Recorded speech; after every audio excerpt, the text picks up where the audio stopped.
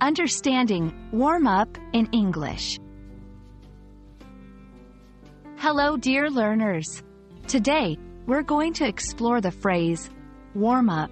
By the end of this video, you'll know what it means and how to use it effectively in your conversations. Warm up is a phrasal verb. At its most basic, it refers to the process of increasing temperature. Imagine you're outside on a cold day and you go inside a cozy room. After a while, you start to feel warmer. That process of becoming warm? That's warming up. Beyond the literal meaning, warm up has several figurative uses in English. 1. Exercise and sports. Before starting an intense physical activity, people often do light exercises to prepare their bodies. This process is referred to as warming up. It helps to prevent injuries and gets the body ready for more strenuous activity. 2. Getting comfortable.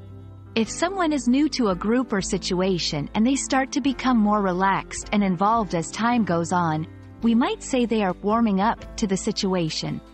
For instance, he was shy at first, but he's warming up to the group now. 3. Preparation in performing arts. Musicians, actors, and other performers often do activities to get ready before their main performance. This is also referred to as warming up. It might involve vocal exercises, rehearsing a few lines, or playing scales on an instrument. Here are some sentences to help you understand the phrase even better. 1. Before you start jogging, make sure to warm up with some stretching exercises. 2. It took a while, but she's finally warming up to the idea of moving to a new city. 3. The pianist would warm up by playing some simple tunes before the concert began.